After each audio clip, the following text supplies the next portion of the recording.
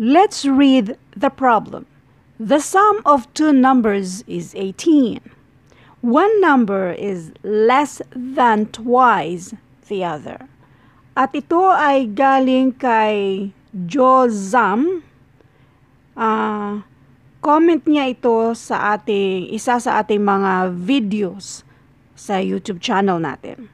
At para naman sa bago pa sa channel ko, bago natin yan sagutan, ito yung FB natin. Yung followers natin nasa 25 na yata. Ito naman yung FB group natin, Philippine Civil Service Review for all kung saan pwede kayong mag-post dyan. At marami tayong FB members na haping sagutan yung mga post nyo. Pwede rin kayong mag-share sa mga reviewers nyo dyan. At punta kayo sa files sa ating FB group para ma-download niyo agad-agad yung mga libreng printable na reviewers. At ito naman yung iba pang FB groups natin na lagi nating tinatambayan at FB pages na posibleng makatulong sa inyo. Basahin natin ulit yung problem natin. The sum of two numbers is 18. Kapag sinabing sum, addition yan siya. So let A and B para sa dalawang mga numbers natin. A plus B equals 18. Next, one number is less than twice the other.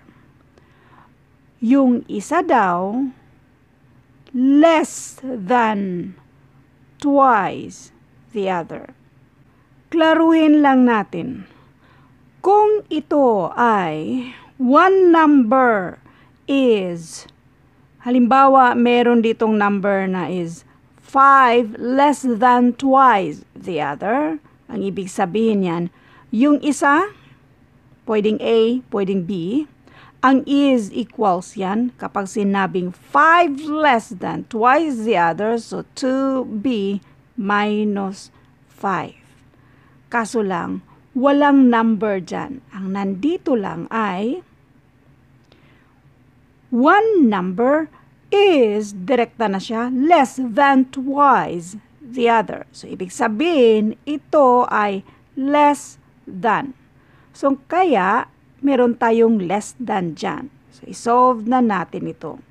Ang una nating gawin ay dito tayo sa A plus B equals 18. Si B, isama natin sa 18. So, since pang-add siya dyan, pang-minus na siya sa kabila. So, A equals 18 minus B. Ngayon, is-substitute na natin yung value ni A. Kasi nga, A is equals to 18 minus B. So, this is 18 minus B. Kasi yan yung value ni A. Less than 2B.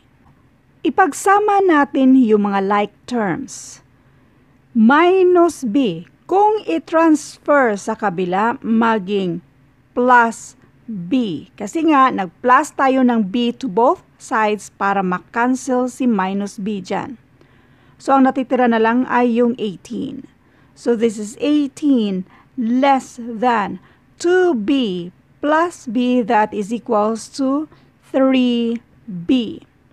Ngayon, i-keep natin si B. Para ma-isolate si B, mag-divide tayo ng 3 to both sides.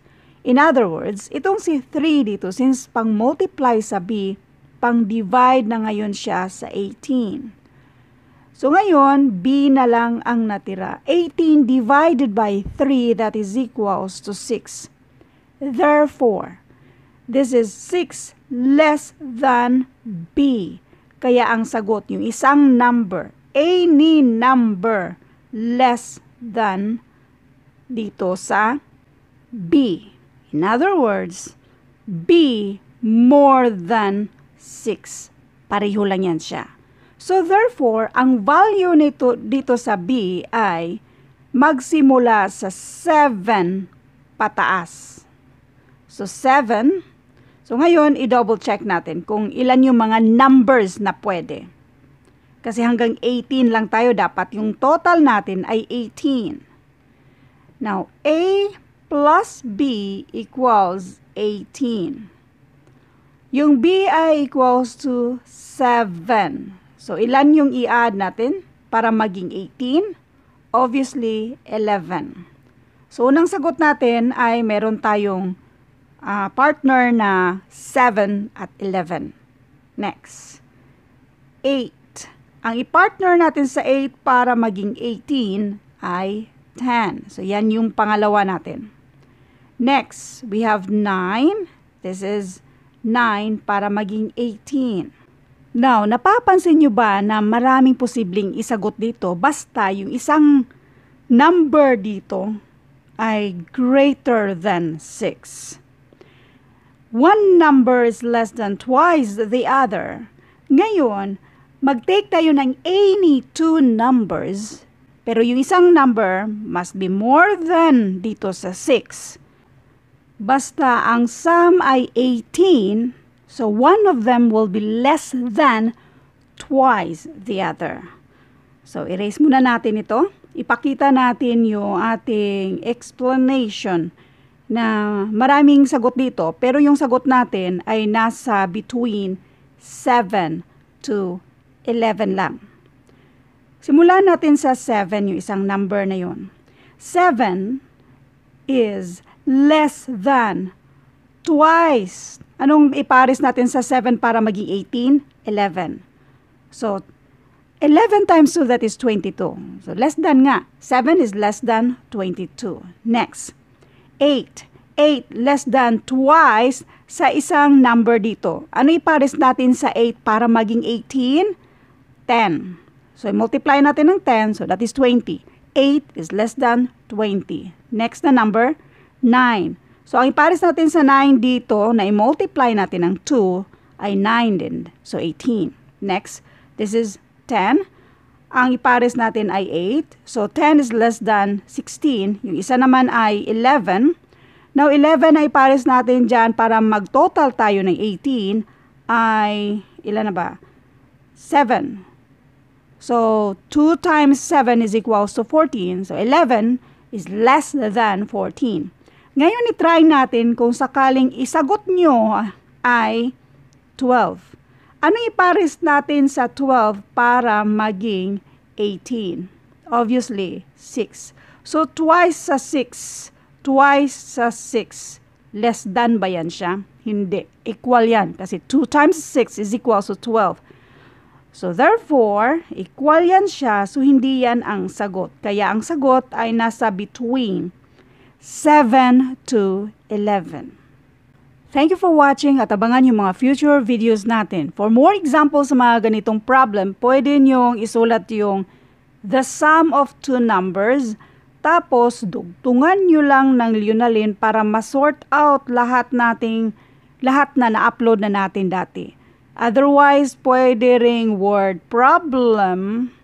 Tapos, idugtong pa rin ang Leonalin para yun na nga masort out lahat ng dati na nating na-upload na mga videos kung paano gawan ng equation itong mga word problems na yan. By the way, before natin i-end ang video ito, mag-recap lang tayo. One number is less than twice the other. Yung isang number daw ay less than twice sa isang number na i-add natin para yung total dito, dito sum of two numbers, A plus B is equals to 18. So ito si A, ito si B. One number is less than twice the other. A less than twice the other. So yung A natin, ito na yon. Yung B natin, ito yon pero minomultiply natin ng 2. Kaya nung nag-double check tayo, itong double checking natin, tama lang na ang sagot natin ay between 7 to 11. Thank you and God bless.